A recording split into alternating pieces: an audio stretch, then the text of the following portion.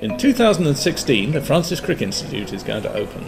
It's a novel kind of scientific research institute designed to promote collaboration, and it itself results from a collaboration between six different partners.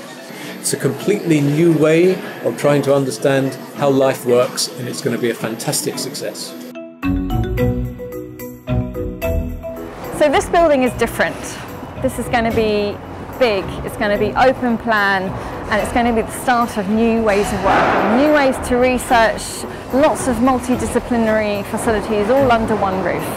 Collaborative papers published between people working in the same institute have a higher impact than those that are published between people working in different institutes. This building is all about how can we make things work quickly, be efficient, how can we be much more innovative about the way we approach science and research.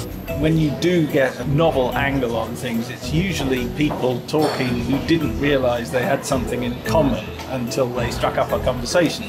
We've taken out all of the meeting rooms from around the building and then we've concentrated them in one space. It's creating another opportunity for you to bump into different people. It may just be a chance conversation, so it's a very good one with. Sydney Brenner shared an office with Francis Crick for many, many years, and they had a rule that either of them could say anything they liked, however stupid, and the other one would have to listen to it and think about it. And it was through those sorts of conversations that Francis Crick, you know, managed to do what he did. We're going to have about 1,500 scientists all collaborating from a wide range of disciplines.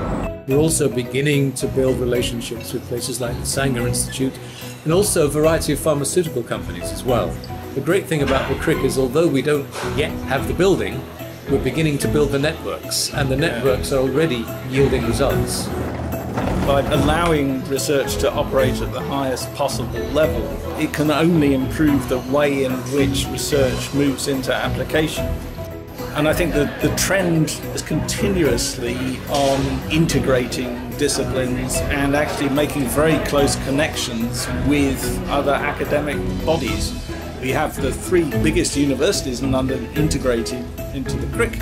It will really let London punch at its real weight academically and biomedically. Being able to talk to Nobel Prize winners, leading world scientists, they are going to be coming into this building. People are very keen to come because they know we're going into the Crick and it's an adventure. So Crick has managed to get a very high profile in the world community already before the building's even finished. If any institute were able to solve the problem of cancer and other diseases, it would be the Crick.